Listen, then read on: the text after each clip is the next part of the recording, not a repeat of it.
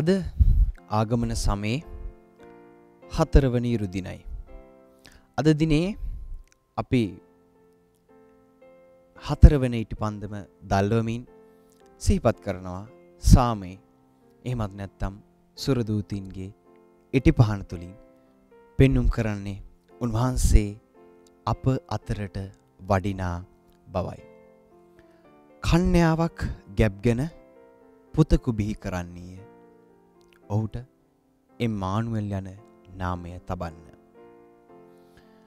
උන්වහන්සේගේ දේව සැලැස්මේ පූර්ණත්වය මේ නත්තල තුළ අත්දකින්නට අපි දැන් සූදානම්.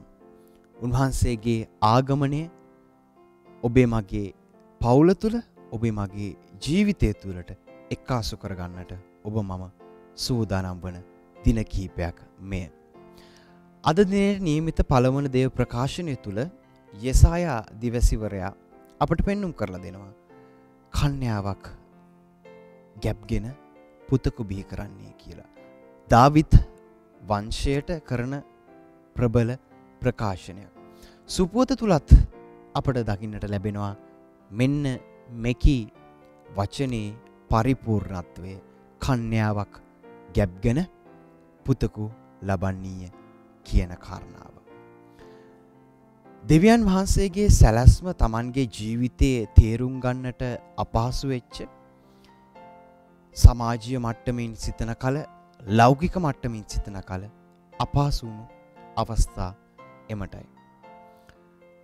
ජුසේතුමාගේ ජීවිත තුළත් උන්වහන්සේට මුහුණ පෑමට සිදුවනේ එවන් අත්දැකීම. නමුත් උන්වහන්සේ දේව අන්නට කීකරුණි.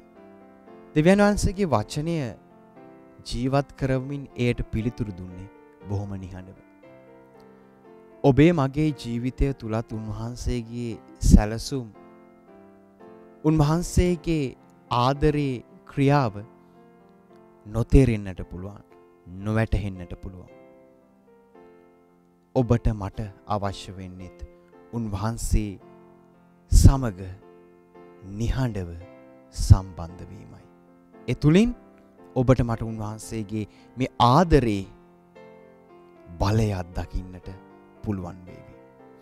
දෙවන දේව ප්‍රකාශනය තුළ රෝමරුන්ගේ ලිපිය තුළ පෙන්නුම් කරලා දෙනවා.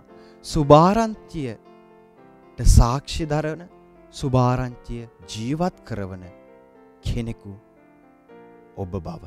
එම නිසා සුභාරංචිය මාංශ ගතවන මේ උතුම් මංගල්ලේදී ඔබේ මගේ අරමුණ විය යුත්තේ. ඔබේ මගේ ජීවිතය තුළ ඔබට මට නොතේරෙන ඔබට මට නොවැටහෙන මේ දේව ආදරය මේ දේව බලය මේ මහිමය ඔබේ මගේ පවුල තුළ ඔබේ මගේ ජීවිතය තුළ ජීවත් කරවන්නට ඔබ මම සූදානම්ද මේ නත්තල තුළ කියන කාරණව කල්පනා කරන්නටයි. එම නිසා මේ උතුම් දිනේදී ඔබ මම අදිටන් කර ගනිමු. ඔබේ මගේ ජීවිතය තුළ උන්වහන්සේගේ මේ දේව සැලැස්ම තේරුම් ගන්නට ඔබ මම උන්වහන්සේට සවන් දෙන්නට සූදානම්ද. උන්වහන්සේට සවන්දීම තුළ ඔබ මම උන්වහන්සේගේ මේ ප්‍රබල ආදරය මේ උතුම් මංගල්‍ය තුළදී අපේ ජීවිත තුළට ළඟා කරගනිමු. ඔබට ජෙස්පීටයි.